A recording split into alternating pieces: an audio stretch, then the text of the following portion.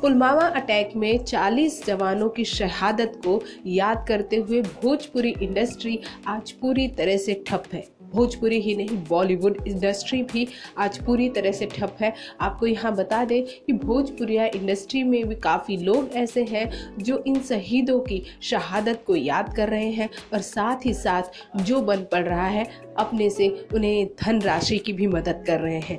इन सब में सबसे ऊपर नाम आता है पावर स्टार पवन सिंह का। जी हाँ पावर स्टार पवन सिंह ने 25 लाख रुपए की धनराशि अपनी तरफ़ से शहीद परिवार वालों को दी है।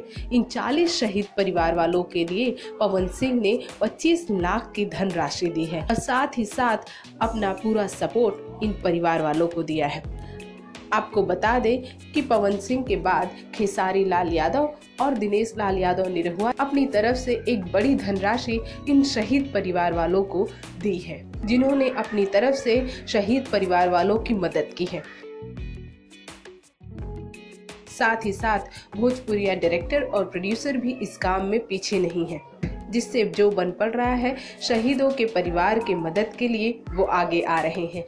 ये सब देखकर, ये सब कुछ लगता है कि बॉलीवुड ही नहीं। इंडियन सिनेमा का हर एक जो प्रांतीय सिनेमा है, जो क्षेत्रीय सिनेमा है, सभी इस तरह के अटैक में देश के साथ हैं, देश के साथ खड़े हैं और साथ ही साथ शहीद परिवार वालों के साथ भी उनकी पूरी संवेदना है। भोजपुरी जगत की हॉट और मसालेदार गॉसिप के लिए हमें सब्सक्राइब करना बिल्कुल न भूलें।